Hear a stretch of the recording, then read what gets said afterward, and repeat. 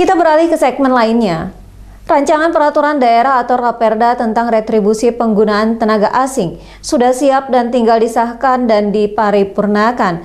Melalui perda ini diharapkan bisa segera menarik retribusi. Tuntas sudah pembahasan Raperda tentang retribusi penggunaan tenaga kerja asing PTKA.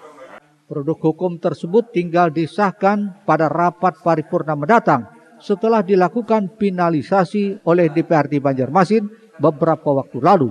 Ketua Panitia Khusus Pansus DPRD Banjarmasin, Gusti Yasni menyebut rancangan peraturan daerah Raperda tentang retribusi penggunaan tenaga kerja asing dipastikan Raperda itu sudah siap dan tinggal disahkan dan diparipurnakan. Gusti Yasni menambahkan sejauh ini proses pembahasan bersama instansi terkait terutama Dinas Koperasi Usaha Mikro Kecil Menengah UMKM dan Tenaga Kerja sudah selesai dibahas. Semua substansi aturannya sudah dibahas bersama, mulai besaran retribusi siapa yang membayar hingga sanksi jika terjadi pelanggaran.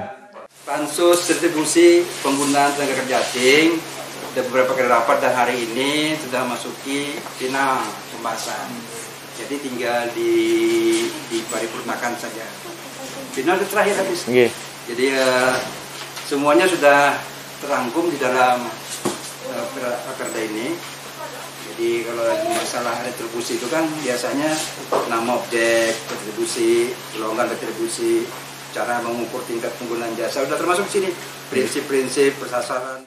Berdasarkan kesepakatan bersama dan mengacu pada peraturan di atasnya, disepakati retribusinya yakni sebesar 100 dolar per bulan. Yasni mengharapkan setelah dijadikan perda agar secepatnya dibuatkan perwali agar retribusi TK ini segera bisa ditarik. Murtasiah Banjar TV.